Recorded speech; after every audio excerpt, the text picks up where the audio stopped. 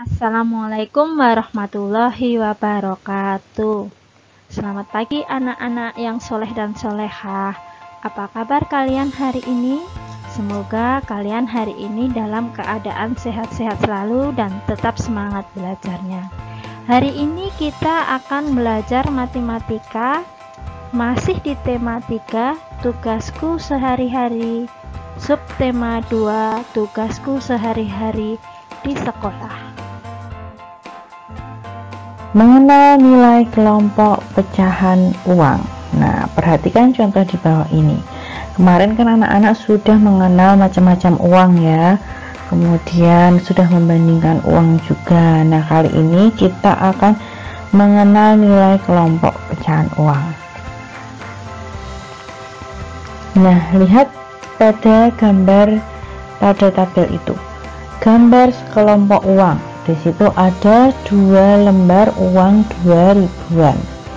Maka nilai uang yang dapat kita tulis yaitu 2000 ditambah 2000 sama dengan 4000 nah nilai uangnya yaitu Rp 4.000,00 ditulis 4000 rupiah. Kita lihat lagi contoh berikutnya. Di sini ada gambar sekelompok uang.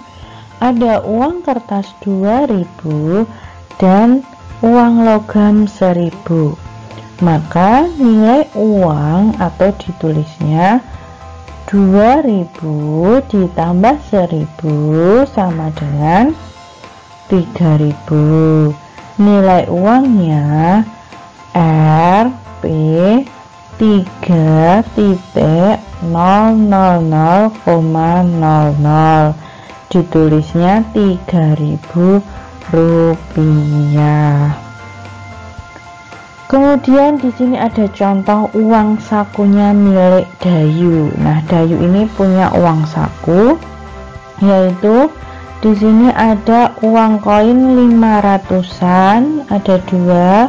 Kemudian uang 200annya ada 5 jadi bisa diperoleh uang dayu itu dua kali 500 karena tadi uang logamnya 500 ada dua maka dua kali 500 sama dengan 1000 kemudian 5 kali 200 sama dengan 1000 jadi total uang dayu yaitu 2000 rupiah. Maka bisa kita tulis jumlah uang dayu sama dengan 500 tambah 500 tambah 200 tambah 200 tambah 200 tambah 200 tambah 200 sama dengan Rp 2.000,00 atau 2000 rupiah. Menukarkan nilai pecahan uang dengan nilai yang sama. Nah perhatikan contoh di bawah ini. Nah uang berapakah ini anak-anak? Ya uang 100.000 rupiah.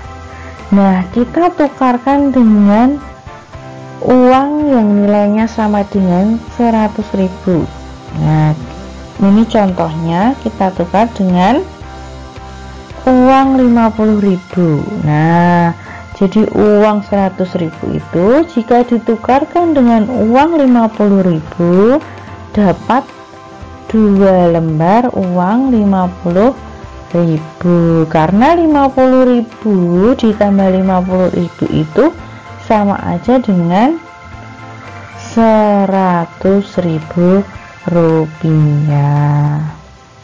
Nah untuk selanjutnya di sini ada uang 5.000 rupiah. Kita tukarkan dengan uang yang nilainya sama dengan 50 5.000 rupiah yaitu uang 2000 tambah 2000 dan ditambah 1000 nah 2000 tambah 2000 tambah 1000 itu sama dengan 5000 rupiah. Jadi nilainya tetap sama ya tetap 5000 hanya uangnya saja yang dipecah itu tadi pembelajaran kita kali ini. Terima kasih anak-anak sudah menyaksikan video ini. Semoga belajarnya semakin dipermudah ya. Selamat belajar dan tetap semangat. Jangan lupa jaga kesehatan. Wassalamualaikum warahmatullahi wabarakatuh